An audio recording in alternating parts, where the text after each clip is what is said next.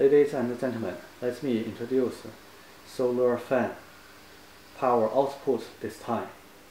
And concerning the solar out output, turn on the solar panel and uh, change the AC degree and uh, low grade.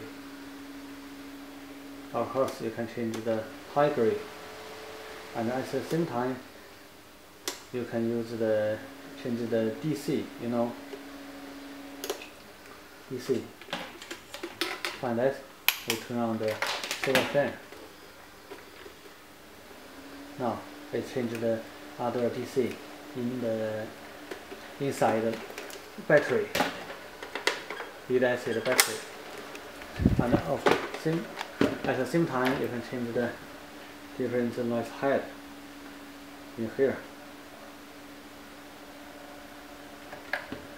Of course, there is a handle. You can change the handle into the other place where you want to use the, the solar fan.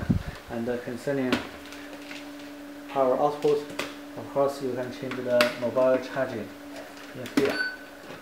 Find that the mobile is charging now. And at the same time, you can use the LED lighting as your wish. Okay, thank you for your time.